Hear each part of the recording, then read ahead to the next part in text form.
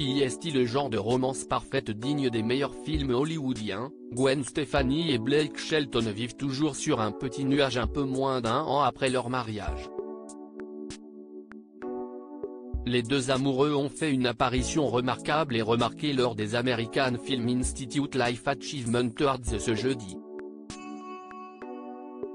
Complices, les deux vedettes ont fait craquer les photographes.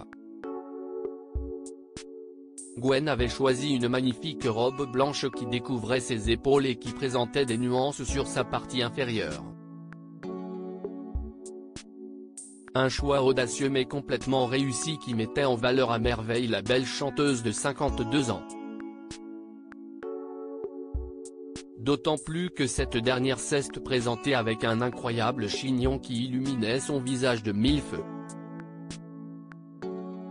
Blake, quant à lui, avait opté pour une veste de costume grise, un veston et une chemise qu'il avait associé à un blue jean et une paire de chaussures en cuir marron traditionnel, voire diaporama. Les deux stars de la musique semblent avoir passé une agréable soirée, apparaissant tout sourire à différentes occasions. L'interprète de Cool et All Girl est même monté sur scène pour faire un discours. Le reste du temps collé, le couple a dîné à la table de Jane Seymour, Bo Derek, et John Corbett. Gwen et Blake se sont rencontrés il y a maintenant 7 ans, lors du tournage de la version américaine de l'émission The Voice. Pourtant aux antipodes artistiquement parlant, lui étant un chanteur de country, elle de pop, ils s'étaient parfaitement entendus.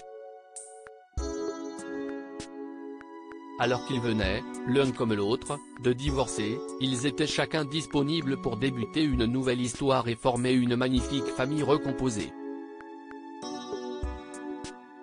En effet, Gwen avait déjà trois enfants, fruit de son union avec Gavin Rosedale, âgé de 16, 13 et 8 ans.